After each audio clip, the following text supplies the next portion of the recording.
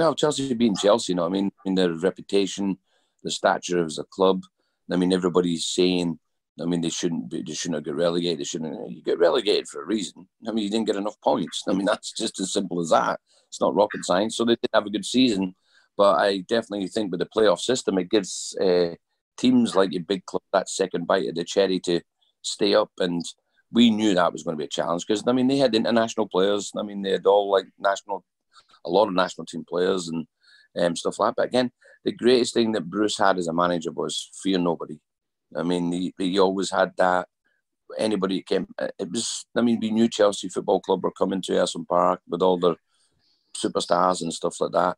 And um, no, and then when I mean, when he matched people up man for man, it, it, he's like if you it goes to show you they're not superhuman. I mean, it's uh, he, he was just fantastic. At his team talks, his tactical stuff, his tactical awareness of what we were going to do in certain times in the game, um, the overall game, and his game plans worked. I mean, again, I started out left midfield, then came into centre midfield after 15, 20 minutes. But he said, I mean, we knew Chelsea would know that.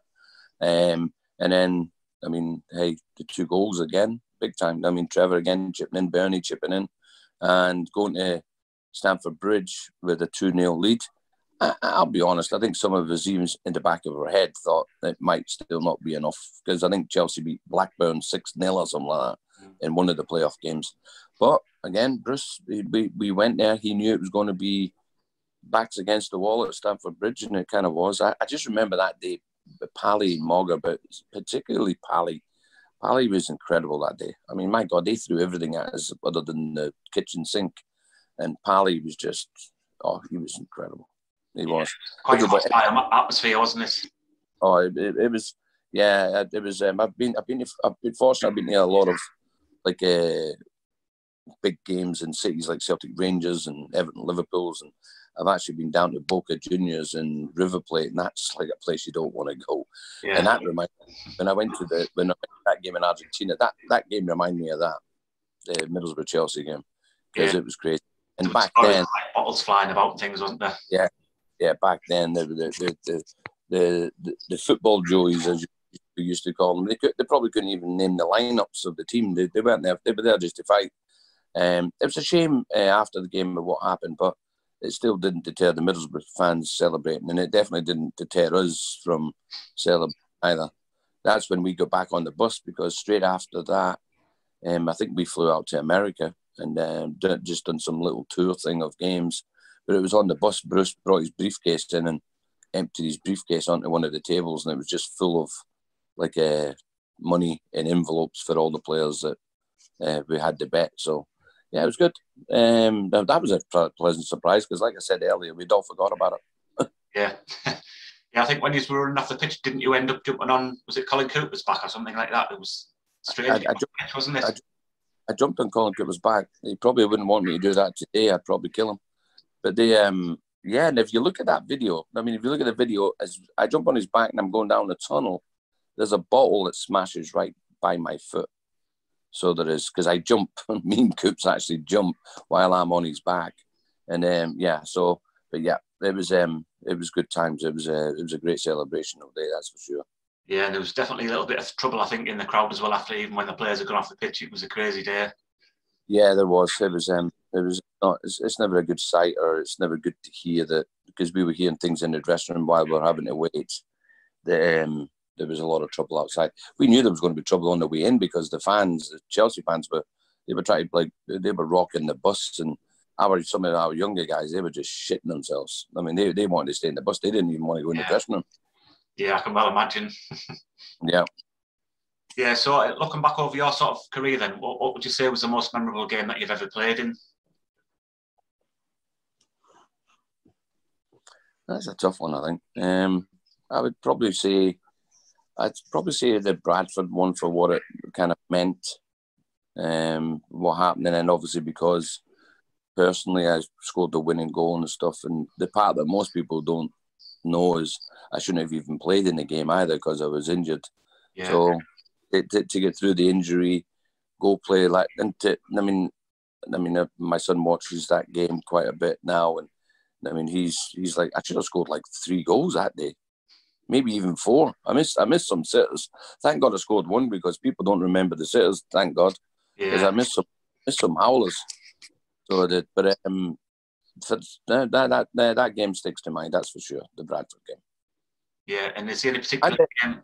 Sorry, and the, the, the, sorry, the, and the Evan the Evan Cup games at home, they were something special as well. Yeah, there were some good games there, wasn't there? I remember actually, yeah, it was four four, yeah. something, yeah. Very, yeah, yeah. Uh, so, like, as a sort of a fan, then, what would you say was the most memorable game that you've actually seen? Well, I was at, I was at the the Villa game when we went to the Zenith Cup final because we'd never been to the Cup uh, finals before. So that was, um, I think that was one big just because of the euphoria of us going to Wembley was like uh, the, the, the the enjoyment and the pleasure and just elation and people inside the stadium after the game was incredible. That people were going to Wembley. So, which is ironic because I mean, I was still a player. I was still uh, stuck, but I was on the injury list. I went to Wembley and then come home because my twins were sick, so I didn't even get to see the Wembley game. and I think Ian Baird as well. Ian Baird went to Wembley. He was injured as well, and he left as well because his kids were sick. Yeah, I don't know if you can see it there, but I've got my uh, scarf from there, the final there. No, you have. Yeah, there from the 1990 final. Brilliant. Right. Shame he obviously couldn't uh, get the win, but it was our first yeah. Wembley. Yeah, like I say, that, that was the first time there. So, um, when when you saw you were playing then, what would you say was the um, any particular team that you'd actually dreamt of playing for? I know you just mentioned about Celtic. Not really. I mean, my love for Celtic actually. I mean, if anybody asks me who I support, I actually say Middlesbrough. I mean, I don't even say Celtic anymore. Um, and I, I don't, I don't even know look for Celtic results. I'm not a massive fan. If I upset people here, I don't mean to, but I'm not a massive fan of Scottish football at all. Anyway, so um, I, am not. It's a two horse race. It has been for since like even before I was born, or maybe Aberdeen back in the seventies. But um, so no, I'm I'm very happy where where I played. I'm very happy with what I've done and achieved. Um, um, nobody can take it away from me, that's for sure. Um, but no, not really. I mean, I, I know everybody would say they want to play for uh, all the big six and stuff like that, but the big six went around then. Um, I, was, I was very happy and content at Middlesbrough Football Club. I really was. I had the chance to go to Charlton, um, and funny enough, Lenny was the manager there, and he tried to sign me, uh, 87, and I just no, the the lights of London didn't lure me. No, I didn't fancy going moving to London at all. Yeah, I know you did try a little spell at Darlington, sort of round about that end of your Middlesbrough town. Uh, how did that sort of come about then? That came Tony McAndrews. Uh, Tony McAndrews was um, obviously an ex-player, ex-mate at Middlesbrough with me, and a very close friend. And just to try and get back into game shape, we agreed that I go there, and um, I went on loan. And I, I knew anyway that because I'd had the ordeal of Rochdale thing. So I always knew every time I was going to play, I was going to be really kind of protecting my knee, which I don't think you should have to do that just just for your general health being anyway. Yeah. Uh, but um, I went. I was very grateful to them. Um, so I was, uh, but I, I, knew in the back of my head it just wasn't going to work. I mean, uh, I, I give it a go. I, I tried, and and when you think about it, I mean, the, the, the lower leagues you go to, the tough. I mean, physically, the tougher it becomes. I was kind of really throwing myself into the lion's den, especially with the makeup of the makeup of myself as a player, and then playing in Division Three or Four. I mean, there's some hatchet men down there that you've never even heard of. Yeah. And um, but I will say though, one thing it did do for me was make me realise um, how lucky we really were as well. I mean, because I went and played at uh, Whitby as well, and that really was an eye opener to me. Was Whitby, uh, Whitby Town Football Club because, my God, I mean, I was playing with guys who had just come off a shift of 16 hours, like a Sparky or bricklayers and stuff like that. And these guys, I mean, these guys really, really played for the love of the game. Yeah. Oh my God, I, yeah, and really good football players. I mean, some of them were, I remember a couple of guys were really good. And I'd, say to them, why don't you give it a chance? And they're like, why give up? a make. They were on great money, um, just as much money as I was probably making. And um, they were like, but I get to get the game I play. And they just didn't want to risk losing everything they'd already had. And, but that really made me stand up and realize that there's people out there that love the game and they're better than some of the players playing that they're playing for the love of the game. So, yeah, it was um, that was that was that was a really one that uh, sticks in my mind was uh, Whitby Town. So yeah. it was won won the league that year as well. Though, so I, I got a medal for that as well. I think I, I think I ended up playing like sweeper or something like that. It was funny. So, but it was it was good. The, the, the guys at Whitby, Town, they were fantastic. They were all a great bunch of lads. Yeah. So, like it was mentioned before, like over your career, you made yourself, you sort of, you made your name as a bit of a tough tackling midfielder. Who would you say was your favourite midfield partner, like to play get play with? Oh, um, I suppose. Um, well, I, I, didn't get to play with Mark Brennan as much as I would have liked to because I thought Mark Brennan was a. Don't think he got a lot of credit, but he was a wonderful football player. I mean, he really was. Um, but and then Dean Glover and I played quite a bit together in centre midfield, which was a kind of odd centre midfield relationship because you've got one hard man with another kind of supposedly hard man in me. And it was like normally you would have a playmaker and somebody else who would just run around and kick the hell out of everybody. Yeah. And that that's when the first time Bruce ever said to me when we when we bought Mark Brennan, and um, I think it was the first game of the season against Norwich, and I was doing some stuff, and I think I tried to ping this ball like from like from left to right, and at half time Bruce said to me, "What what are you doing?" And I went, "What do you mean?" And he brought the, the he brought the incident up, and I went, "Well, I, I, I can make that pass." And he went, "No, no, no, no." He says, "You just get the ball and give it to him." He yeah. says, "Because that's why I bought him, and he'll do that pass." And I'm like, "Well, I can make that pass." And he went, "I know you can." He says, "But he can make it more than you can." And I was like, "Shit, yeah. that's not nice." but um, no, I, I, I mean, there, there, was there was there was a few guys. I mean, um, I mean, I played in midfield with Lawsy as well and stuff like that. But I'd definitely probably say Dino because I knew Dino always had my back as well. Yeah. So he did, and um, he knew I had his back. Yeah, I mean, I don't know how, how much uh, sort of football you see these days, but is there anyone who you sort of see in today's game who you'd say like has similar attributes to yourself? Not really, because I don't think it's allowed anymore.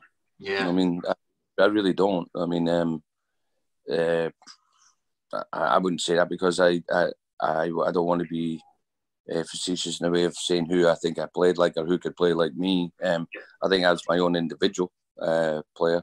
I mean, I, I thought I could uh, make teams panic in the way I used to be able to get around players and stuff, but um, I wouldn't I wouldn't like to say who I think this day and age because I think the game's a completely completely different game. I mean, I mean the fitness level is incredible. Um, it's it's just uh, it's just a different ball game altogether today. So no, I, I, I don't really no I don't think I can have that one. Yeah, absolutely. Uh, so like looking at back uh, sort of in your day as well, is there anyone in your day or now who you'd love to have played alongside in, in midfield?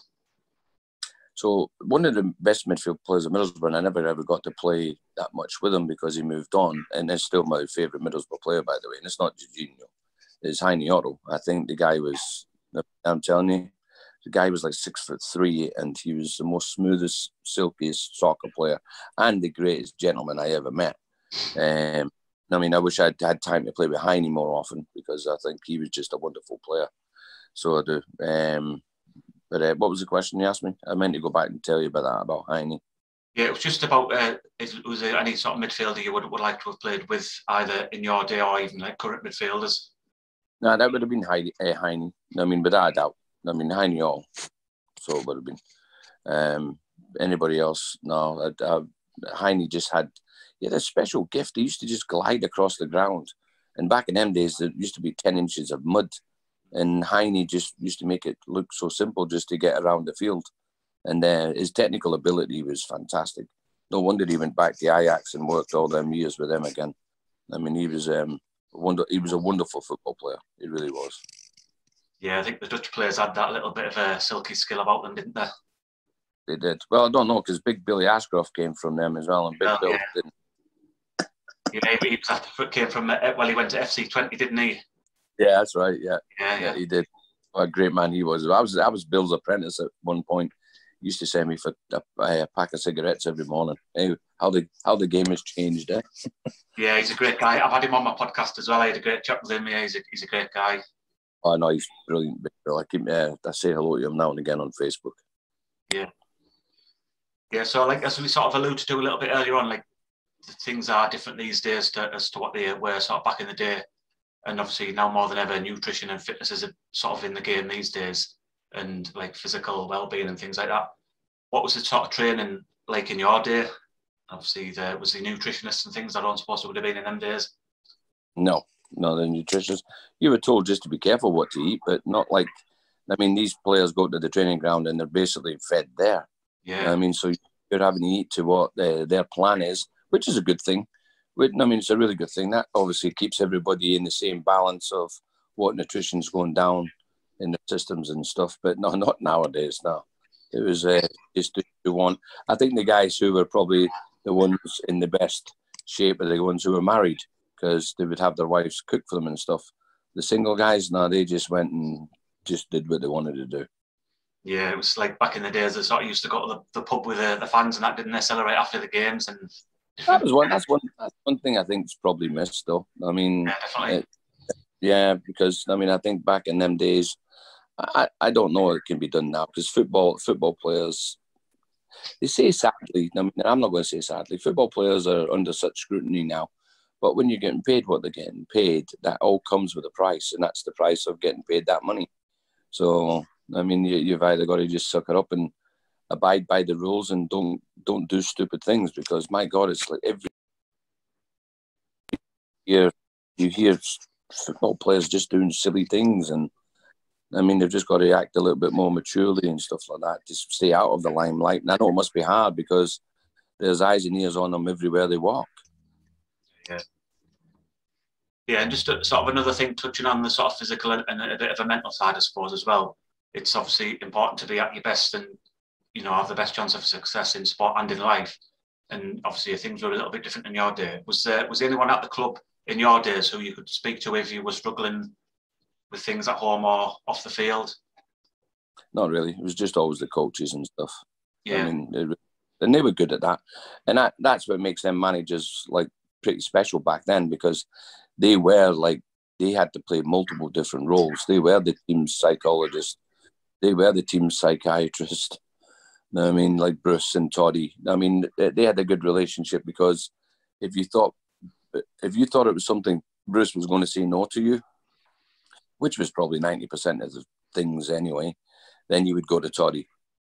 Yeah. And then and if Toddy thought you had a chance of whatever you were requesting or asking, then Toddy would go to Bruce with it, and then he would get back to you. So it was a good little system that they had uh, within the club maybe that good cop, bad cop kind of uh, relationship with Toddy and Bruce. But um, yeah, you got to admire them managers back then because they had a lot on the plate. They really did earn whatever money they earned. Because in today's game, I mean, the, the, the, the, true athlete, they're athletes. They have to be athletes. I mean, that's just a given.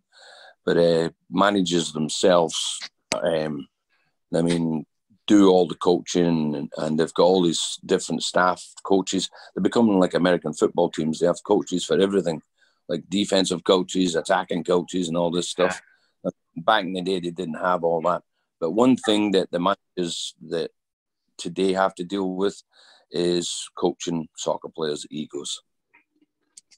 Because yeah, that, and I truly believe, I mean, because of what you already have, you have a, a gifted soccer player. You have a pure, thoroughbred athlete. Now it's all about the mental side. It's all about their mental approach and their mental attitude. And to keep 40 of them in check, oh my God, that's not a day's work, that's a year's work. Yeah. And they've got to do that on a daily basis. I mean, because like I said away back in the start of the podcast, that I mean, players can make or break you now. Back in the day, it wasn't that. It wasn't that way. I mean, if you if you were a loud mouth or you were trying to disrupt the, the dressing room or whatever, you'd just be gone. Now nowadays it's no managers out, new new manager in. Yeah, definitely. Uh, yeah, so I just want to, I, I, always like to sort of finish on a bit of a light-hearted note with a few little sort of quick fire questions at the end. So I'll just move on to these last couple of questions. And uh, anyway, th- thanks for your time today. Really appreciate it. No problem. So anyway, like I say, p- pineapple on pizza, would you say yes or no? Say that again. Pineapple on pizza, do you say yes or no to that one? A pie, a pie in a what? pineapple, sorry, pineapple on pizza. Do you say no, no. it's wrong? No, no, it's not wrong. Yeah. And uh, another one, tea bag. Do you put the tea bag in the milk in, in the cup first, or do you put the milk in first? Tea bag. Yeah, same as me. Um, and but sort of going back onto the meal side of things, uh, would you say your favourite meat on your meal would be chicken or turkey? What would you go for? Chicken. Chicken, yeah. And Cristiano Ronaldo or Lionel Messi? Messi, hands down. yep, same for me. Um, another one, match of the day or I'm a celebrity. Get the right one. Oh, match of the day, I'm a celebrity. I don't, I don't watch any shit. No, I can't stand it when my wife and my kids want to watch that, and then I'm like, I'm always in a different room watching. No, we're watching our kids don't even watch either because they're grown adults as well. yeah, well, my eldest is only 18, and my young one's a, bit, a little bit younger, so they'll watch that. I watch football. Yeah, we've just got to contain. We've just got to contain with the grandkids now. That's all. We've yeah. got all to come back around again. Yeah, and the uh, the final question: If you had the opportunity to go back in time to when you were playing and change one of the following things, either having a longer career and making a record number of appearances, or more success in terms of sort of like reaching cup finals and winning trophies, but obviously having another short career, which one would you choose? First one. this one, yeah. Yeah, obviously because your sort of career was a little bit cut short, wasn't it? So it'd be always nice. It was. It, it was. Think about it though. I played my last game at 23. I think I played like 270 games, and yeah. I've, I've, I've sat, and you wouldn't be human if you didn't sit and think about it. And I mean, you wouldn't. Just human nature. And I've sat and thought, well, if I played another five, just another five years or six years, I'd have been in the 500s, which would have And I, and I mean, I'm like I said, I'm a big Middlesbrough fan. I look and see who's who has the most appearances and stuff, and but that's all it, isn't it? And um, Aye. It's not going. But it, they, but no, I would definitely have. That would be something I would have liked to have done. yeah, like you say, you still definitely had a great career, and I'd just like to say thank you for being on the show today. I appreciate your time, and it was great to hear about your career and your get a great insight of your career and someone who played at like the top level in football. So just like to say all the best. Thank you very much for taking part today. No, no problem. Thank you very much for the invite. And sorry it's taken so long to get this done. No problem. Like I say, it's been a great pleasure of mine, and uh, thank you very much. Thank you. Take care. All the best, mate. Bye. Thank you. Bye.